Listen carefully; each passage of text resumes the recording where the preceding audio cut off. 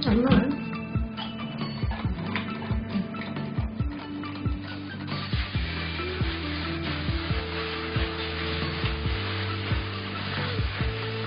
적당히 남은 것 같아. 그죠? 응.